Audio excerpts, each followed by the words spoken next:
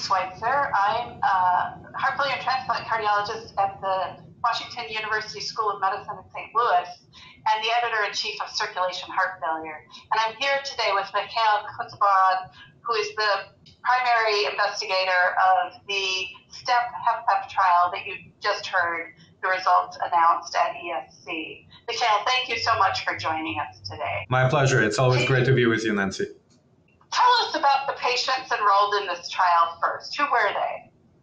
Right. Well, um, STEP HFpEF was really the first uh, clinical trial of any pharmacotherapy that was specifically designed to test the hypothesis that targeting obesity uh, can be an efficacious therapeutic strategy in patients with uh, heart failure and preserved ejection fraction.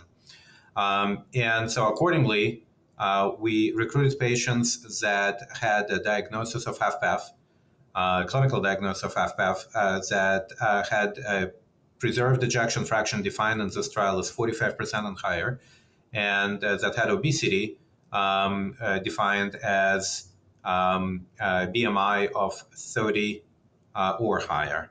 Um, and then on top of that, they had to have at least one of the three things either documented elevated filling pressures measured invasively, uh, or um, uh, elevated uh, natriuretic peptides that were stratified in terms of the threshold based on BMI, uh, plus structural echocardiographic abnormalities, or uh, hospitalized with heart failure within the previous 12 months, uh, plus either ongoing requirement for diuretic therapy or structural echocardiographic abnormalities, or both.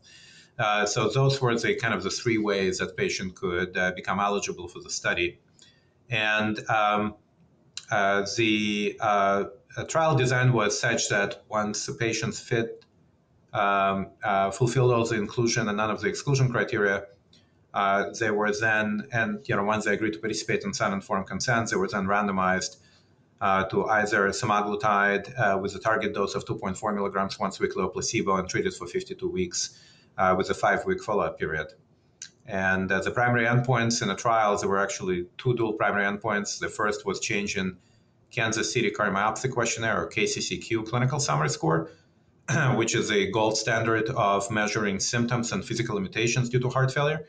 And the second dual primary endpoint was a change in body weight uh, from baseline to week 52. And we had uh, several um, key secondary endpoints that were also um, tested in the hierarchical sequence as well.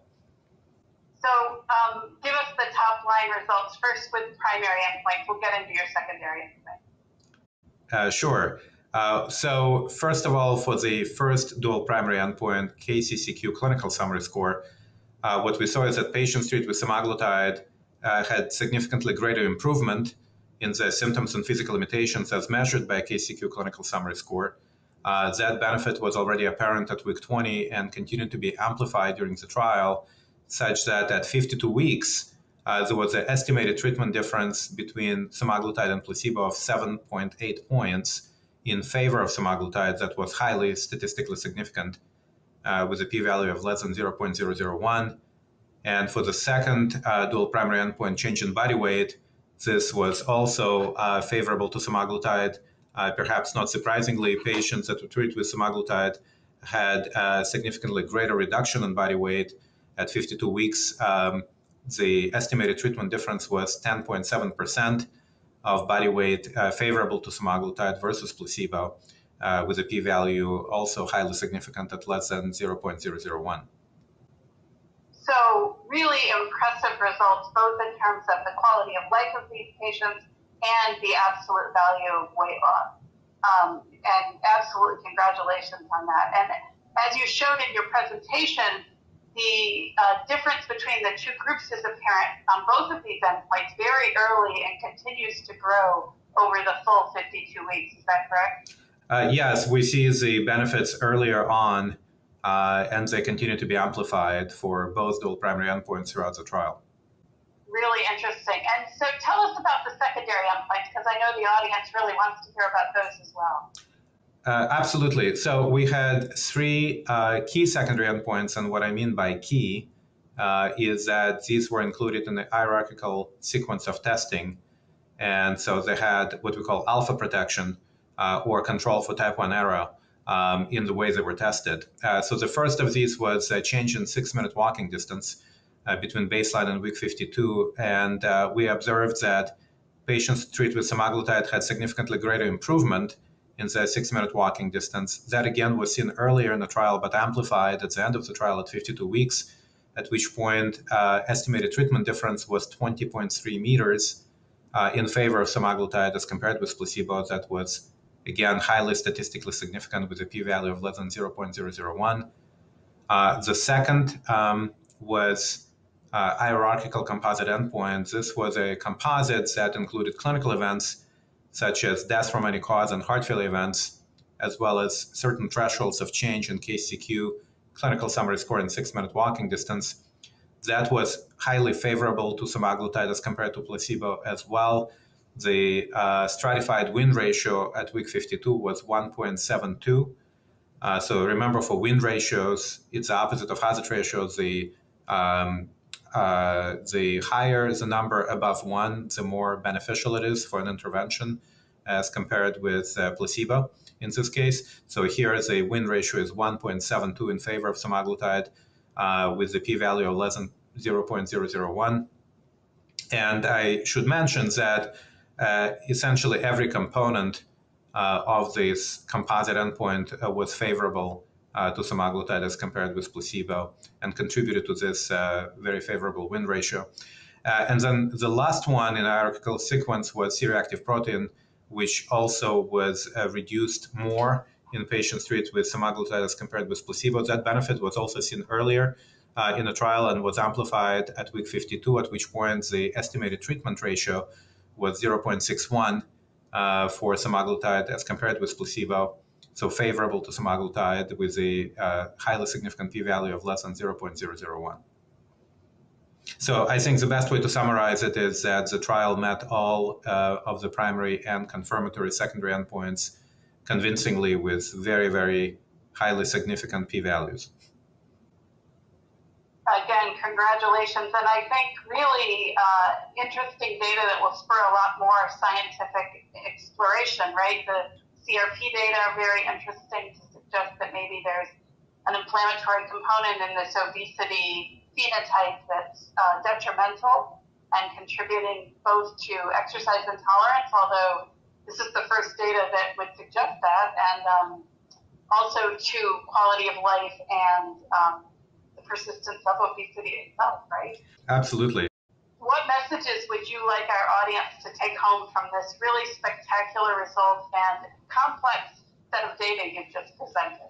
Yeah, and maybe before I even get to that, Nancy, just a couple of other points which I think is going to be interesting to the audience and also uh, clinically important. One is we measured N-terminal proBNP or NT-proBNP levels. Uh, they were exploratory endpoints um, but nevertheless, I think very interesting, especially in this space where there was so much controversy about this relationship between obesity and weight loss on one hand and NT-proBNP and natriuretic peptides on the other hand. And what we actually saw was there was a, a reduction in NT-proBNP with semaglutide versus placebo estimated treatment ratio 0.84 and 95% confidence intervals excluding unity. And we also saw, while there were very few clinical events of heart failure hospitalizations and urgent visits that were prospectively adjudicated, and there were uh, a lot fewer of them in a semaglutide group uh, versus a placebo. There were 13 events, of which 12 were in a placebo group and only one in the semaglutide group.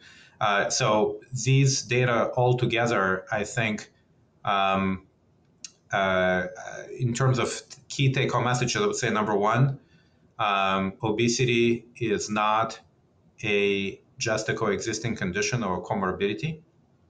It appears to be um, a root cause uh, and an extremely important determinant of both HFpEF development and progression in many of our patients that have this difficult to treat condition.